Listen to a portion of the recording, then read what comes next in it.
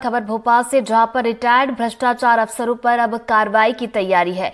भ्रष्टाचार पर बहुत सरकार का एक और बड़ा फैसला आया है और भ्रष्टाचार में शामिल रिटायर्ड अधिकारियों की अब जाँच की जाएगी। तो मोहन सरकार में ज़ीरो टॉलरेंस की नीति जारी है और सरकार ने चार सदस्यीय कमेटी का गठन भी किया है। जाँच के बाद कमेटी कार्रवाई की सिफारिश भी करेगी।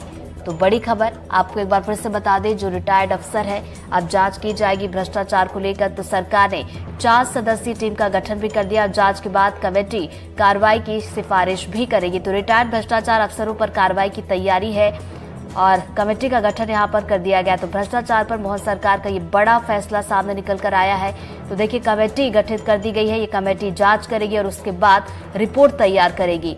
तो चार सदस्यीय ये कमेटी होगी जिसका गठन किया गया है और कमेटी इसको लेकर कार्रवाई की सिफारिश भी करेगी। और चलिए इसी खबर पर ज़्यादा जानकारी के साथ हमारे सहयोगी अमृतांशी हमारे साथ जुड़ गई है। अमृतांशी, इस समिति में किस किस को रखा गया है? कब तक ये जाँच होगी और कब रिपोर्ट सौंपनी होगी? बिल्कुल, देखिए, सामान्य प्रशासन विभाग के अपर सचिव, इसके साथ ही साथ नर्मदा घाटी विकास प्राधिकरण के और राजस्व विभाग के अधिकारी, चार सदस्यीय ये कमेटी है। और मध्य प्रदेश में भ्रष्टाचार अब नहीं चलने वाला है। और भ्रष्टाचार को लेकर ज़ीरो टॉलरेंस की नीति मोहन सरकार अपनी पहले ही साफ़ कर चुकी है।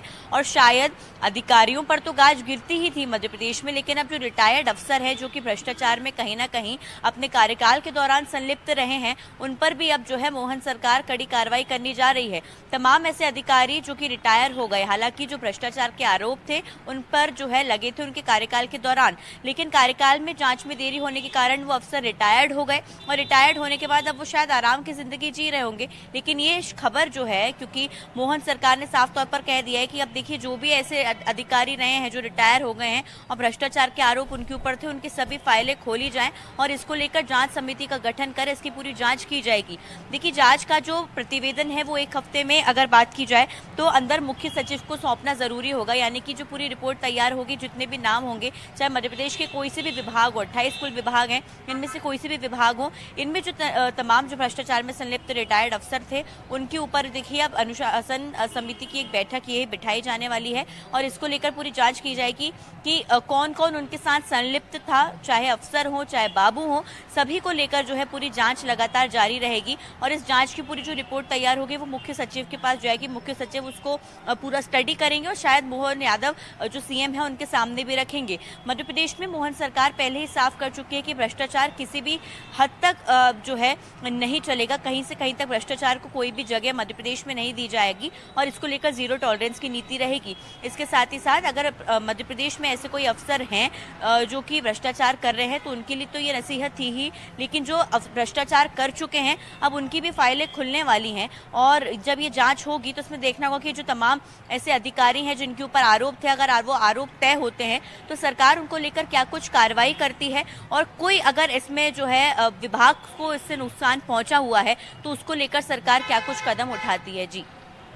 तो चलिए अमृता जी क्या इस बारे में कोई जानकारी है? जिन रिटायर्ड अधिकारियों की जाँच की बात कही जा रही है, इसको लेकर कोई लिस्ट तैयार की गई हो?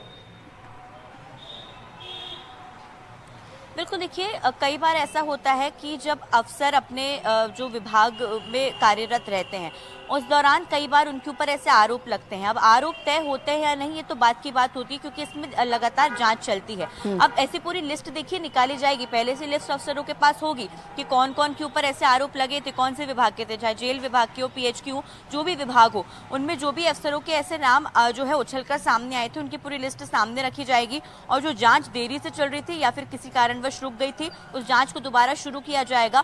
इसको लेकर पूरी देखिए जो अधिकारी है वो जाँच करेंगे और उसके बाद रिपोर्ट तय करेगी कि वो आरोपी हैं या नहीं। अगर उनके आरोप सिद्ध होते हैं तो ज़ाहिर सी बात है वो कार्रवाई के अंतर्गत आएँगे। और अगर उनके भ्रष्टाचार के कारण विभाग को कहीं से कहीं तक नुकसान पहुँचा है, क्योंकि विभाग जनता के लिए काम करते हैं, वो पैसा जनता का होता है। अगर पैसे में हेरफेर या अन्य तरीके की कोई भी गड़बड़ी होगी तो जो जो भी उस पूरी हम कह सकते हैं नेटवर्क में संलिप्त होगा, वो अधिकारी जो रिटायर हो गए, उनसे लेकर शायद अभी जो काम कर रहे हैं, उन पर भी कार्रवाई हो सकती है, जी।